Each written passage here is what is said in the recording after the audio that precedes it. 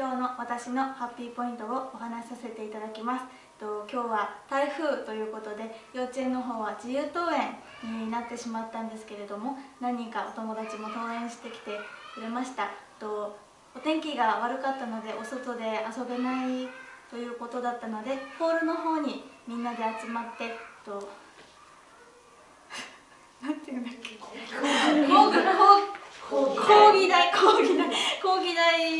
出して遊んだりあとはみんなで元気タイムをやったりしていつもはあの元気タイムはとホールでやる時先生が1人だけステージに上がってとステージの下で子どもたちはやってるんですけれども今日はステージのところに階段も出してみんなもステージの上で元気タイムをやったりあとは昨年度のお遊戯会の曲を流すとみんなが踊り出したりしてとても楽しい時間を過ごすことができました。とお天気の方も回復しましたので明日はみんなが元気に登園して運動会運動会の練習を元気にやってくれることを楽しみにしています。これが今日の私のハッピーポイントです。ありがとうございました。